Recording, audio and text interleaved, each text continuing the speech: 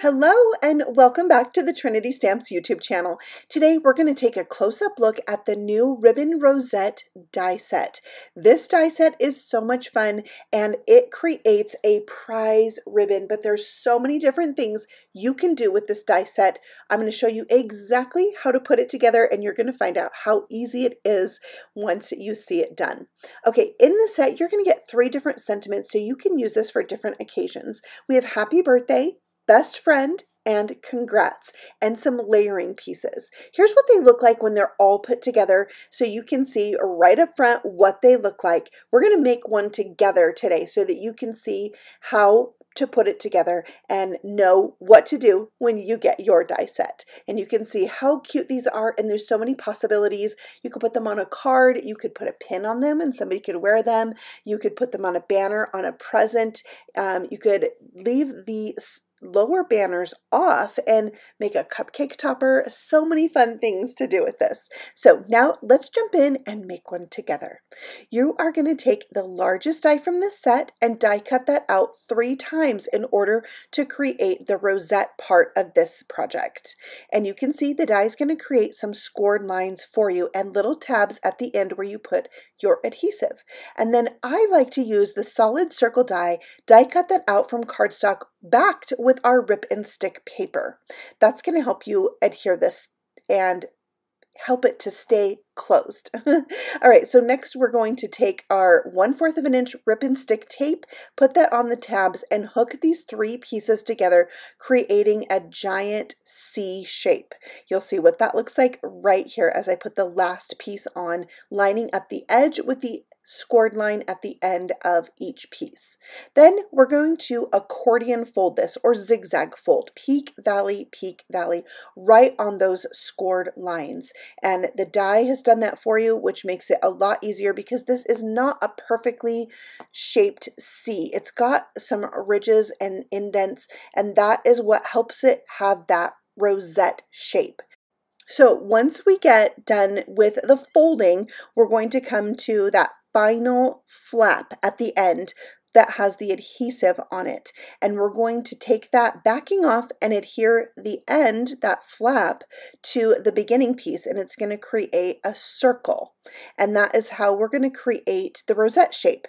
So here we are at that flap. We're going to remove the adhesive on it, the backing. and I added a little liquid glue because I really like to have liquid glue and uh, dry adhesive when doing 3D projects. So now here's that circle that I added the rip and stick sheet to, and I added some liquid glue as well because I like that really strong hold.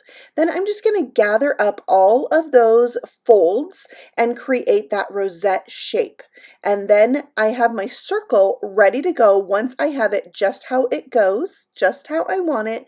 I can grab that circle and stick it down.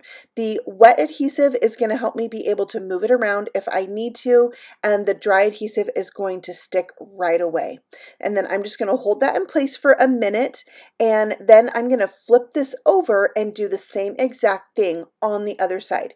You could also use some hot glue for this. It holds these really well, um, but I found that these circles have held up really well over time. So then once that is set, we can work on the other parts of this ribbon rosette. So here's the circle with the zigzag edge, and then we have our solid circle, which you can use with the sentiment circles, and when you cut them together, you get a circle with the sentiment right in the middle. Then we can layer all these things up. Here's the other two sentiments as well. All right, so when I layer these up, I think it's really fun to add some dimension behind the sentiment and pop that up onto a second solid circle. But you don't have to have the second solid circle. You could stick this right down to your zigzag circle. All right, then I stick those all together and add this right to that ribbon rosette. So if you don't get the circle with the adhesive on it perfectly centered, this decorative piece will cover that up. So there's two long banner pieces, and this is what's going to create the tails of the ribbon rosette.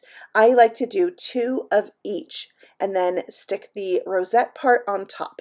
There is a kind of a embossed line on the larger banner, which helps you know exactly where to stick the other banner.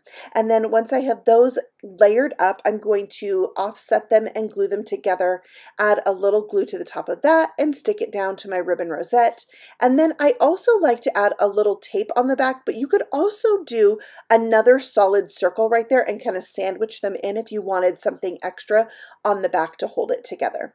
All right, now I'm going to decorate this up. I've been creating a lot of strawberry themed projects.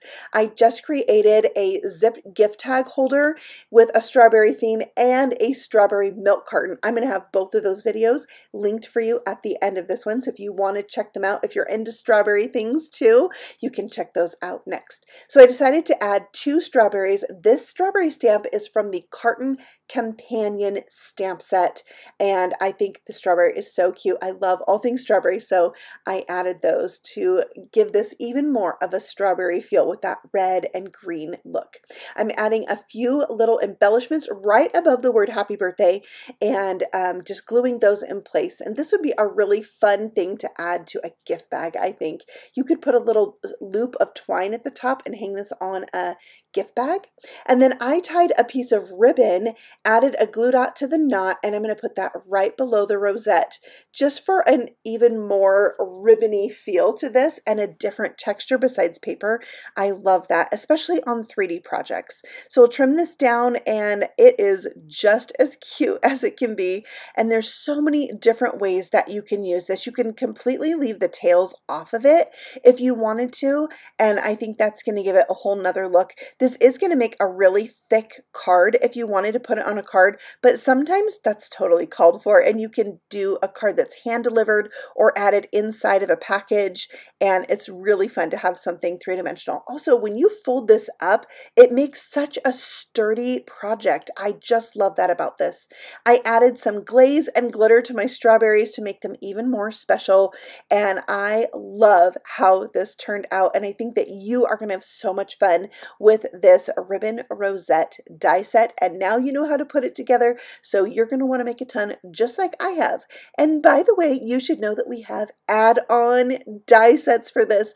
This is the ribbon rosette baby add-on. We have big brother big sister and mommy to be as well as some baby themed add-ons and this is going to give you different sentiments that you can put in the middle of the ribbon rosette, just like this. So here you can see I did one without the tails, and then I did Mommy to Be, added the onesie and the little baby feet, and die cut this from patterned paper, which is so much fun to do. You can use lots of different specialty papers with this die set.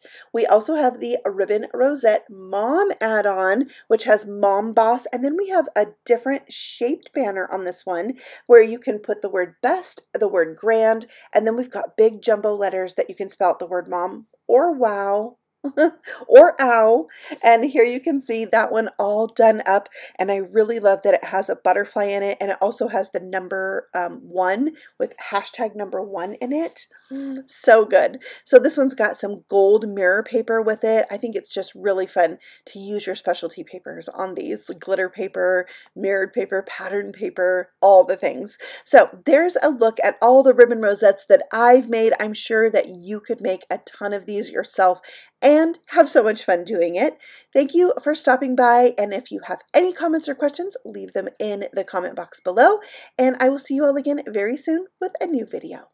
Happy stamping! Bye!